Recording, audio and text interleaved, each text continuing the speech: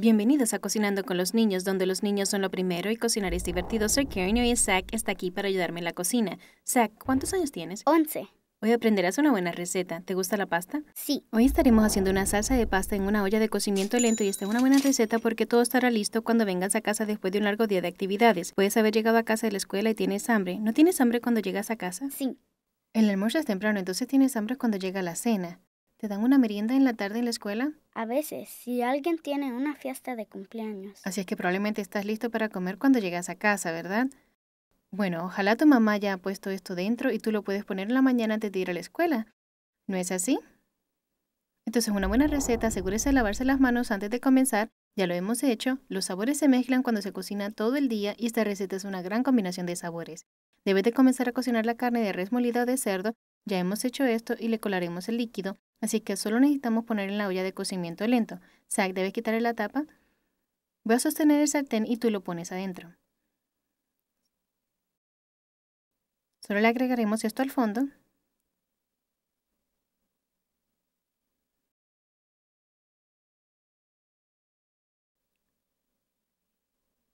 Ahora le agregaremos media cebolla mediana que ya está picada y ya hemos hecho eso así que la podemos agregar.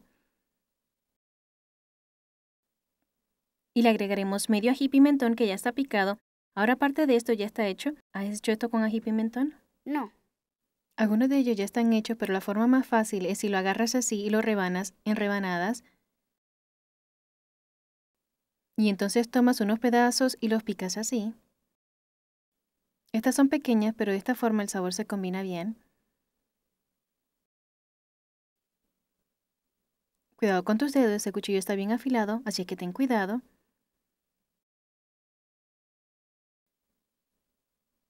Una vez que todo esté rebanado, se lo vamos a agregar a eso.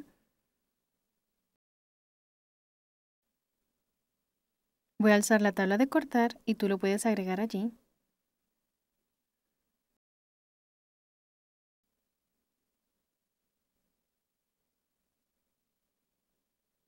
Hay unos cuantos más y los pondremos allí.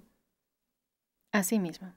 Después le agregaremos un calabacín, pero necesitamos picarlos ¿Alguna vez has picado un calabacín? No. Puedes usar la parte de afuera, solo quita las esquinas así y lo partimos a la mitad. Debes rebanarlo y entonces lo rebanas en cuartos. ¿Verdad que eres bueno con las matemáticas? Sí. Así es que lo volteas de esa forma y tienes cuatro. Es como un pastel de fracciones. ¿Te sabes esos problemas? No lo hemos aprendido todavía. ¿No? Los aprenderemos este año. Ya seguro que lo aprenderás rápido. Solo corta cada pedazo en cuatro o cuartos.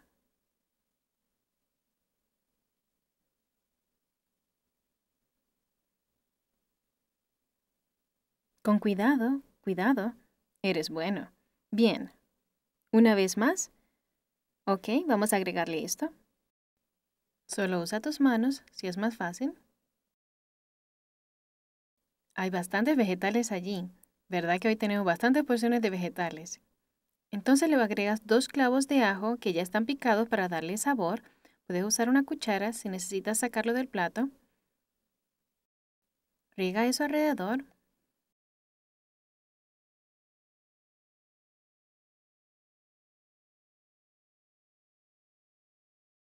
Ahora debes de agregarle las zanahorias. Tenemos tres zanahorias que ya están rebanadas, ya la hemos pelado y rebanados. Saca si la puedes agregar. Debes de revolver todo eso junto para mezclar los ingredientes. ¿Verdad que se está llenando? Sí. Nuestro próximo ingrediente son dos latas de 15 onzas de salsa de tomate. Asegúrese de lavar siempre sus latas antes de abrirlas. ¿Sabías que hay que hacer eso? Hace esto porque esto pueden tener gérmenes encima, así es que siempre asegúrese de lavar las tapas y el abridor de latas después de usarlo, así es que agrégalas ahora. También le vamos a echar una lata de 15 onzas de tomates picados. Se está llenando y los tomates picados. Estos no están colados, así es que añade líquido allí con esto. Ahora, si es la temporada de los tomates, usted los puede sustituir con los frescos. Dos o tres tamaños grande y mediano igualarán una lata de 15 onzas. ¿Cómo te va mezclando todo eso junto? Muy bien. Este es un plato italiano, vamos a necesitar algunas especias y esta receta pide media cucharadita de albahaca seca, media cucharadita de orégano seco y media cucharadita de tomillo seco. Pero lo puedes sustituir con la sazón italiana y eso es lo que vamos a hacer. Vamos a sustituirlos con dos cucharaditas de la sazón italiana. Solo vamos a echar un poquito. ¿Quieres que haga eso? Está cerca, allá hay una. Rocea alrededor. Y dos. Añade eso. Sac, revuelve todo junto. Debes de revolver todos los ingredientes para combinarlos bien. Ahora debes de agregarles otros ingredientes para tener un sabor extra. Puedes intentar los hongos o el brócoli, el apio o inclusive el pepperoni. De seguro sabrá bien con pepperoni, sería rico. Se ve bien. Ahora queremos poner la tapa y cocinar a temperatura baja de 6 a 8 horas o si está en un apuro puede ponerlo en alto de 3 a 4 horas y la sirve sobre una pasta cocida. Inclusive le puede poner un poco de queso rallados cheddar si quiere.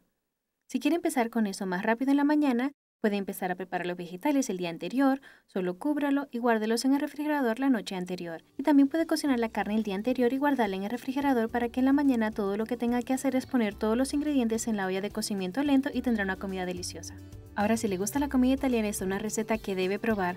Así es como se ve la salsa, está muy rica. Se ve así y tiene bastantes sabores y vegetales, es realmente deliciosa. ¿Quieres probarla? Sí. Ok, estamos listos. Una olla de cocimiento lento también se conoce como crockpot y puede ahorrar tiempo y dinero. Usted puede poner todos los ingredientes dentro de la olla, conectarla e irse. Su comida se cocinará a temperatura baja por hora sin quemarse. Como el cocimiento lento no involucra las llamas, esta técnica es una forma segura para involucrar a los niños en la cocina. Ellos pueden ayudar a preparar y agregar los ingredientes. Cocimiento lento es una forma perfecta para cocinar los cortes fuertes y baratos y los cortes de carne del cuarto delantero. Estos se ponen deliciosos cuando se cocinan lentamente. La sopa, los frijoles y los caldos son perfectos para el cocimiento lento y no es requerido revolverlos, así que deje la tapa puesta.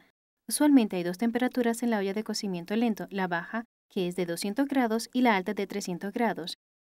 La mayoría de los libros dicen que una hora es igual a dos horas de temperatura baja, pero cocinar a fuego bajo hace que la carne sea más jugosa y suave. Corte los vegetales en pedazos pequeños para que se cocinen bien y sean más fáciles de comer.